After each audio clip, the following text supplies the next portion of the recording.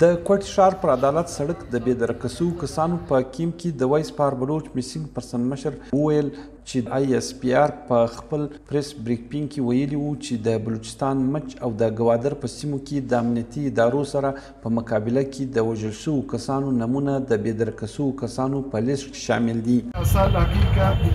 حقیقت دا دی چې وحید ستانکزی د اګست په دولسمه، کال دوه زره دوهویشتم، کال کې په جبري توګه بې درکه شو. د کال دوه زره دوهویشتم د فرورۍ په نهمه باندې راخوشې شو. له دې وروسته ودود ستانکزی کله او څنګه بي ایل اې کې شامل شو، موږ په دې نه یو خبر. کریم جان کال دوه زره دوهویشتم د مۍ په درویشتمه د امنیتي ادارو له خوا په زوره بې درکه شو، د نه شواهدو له امله عدالت، هغه له ټولو تورونو څخه بری کو. خو د پاکستان حکومت او پوځ دغه تورونه ردوي چې د خلکو په بې درکېدو کې دوی لاس لري. په خبري کانفرنس کې ماما قدیر بلوڅ وویل چې دوی له حکومت څخه هیڅ ډول توقع او امید نه لري. تیرو حکومتونو هم له دوی سره ژمنې کړې وې خو دغه ستونزه نه ده اواره شوې. نه صوبايي نه مرکزي حکومت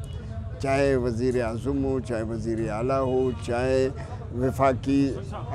سربراهو سربرای مملکت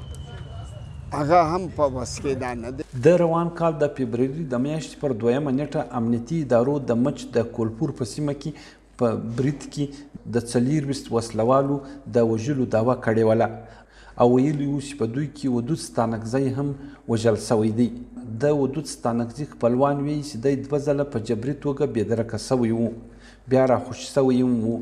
بیا له هغه وروسته له بیلې سره ملګری کړې وه خو د بې درکه شوو کسانو په لیست شامل نه وو او دغه ډول د روان کال د مارچ د میاشتې پر شلمه نیټه باندې هم پر ګوادر پورټ اتارټي کمپلیکس باندې برید وشو حکومت ویلي وو چې اته وسله وال او دوه عسکر وژل شوي وو په وژل شوو کې د یوه مړي پیژندګلوي د ده د خور لخوا شوې وه. د ده شناخت د کریم جان په نوم باندې شوی و، د دوی کورنۍ ویل چې دی سي ټي ډي نیولی و، په ضمانت باندې خلاص شوی و، له هغه وروسته له بېلې مجید برګېډ سره ملګري کړې وه. د بې درکه شوو خلکو سازمان ویل چې د بلوچستان مسله د زور له لارې نه بلکې د سیاسي هلو ځلو له لارې دې حل کړل شي. نصرالله بلوڅ په خبري کانفرنس کې وویل چې په مقابله کې د بې درکه شوو کسانو د وژلو لړۍ دې ودرول شي.